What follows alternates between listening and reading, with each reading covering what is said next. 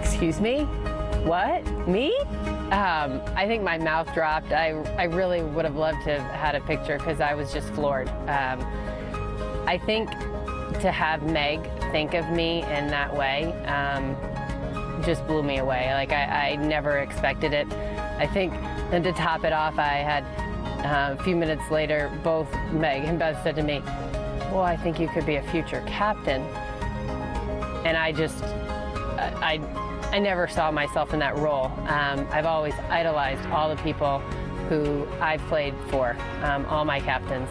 To have those teammates with you and, and to play for your country is something that takes your breath away, and, and that's exactly what happened when Meg asked me.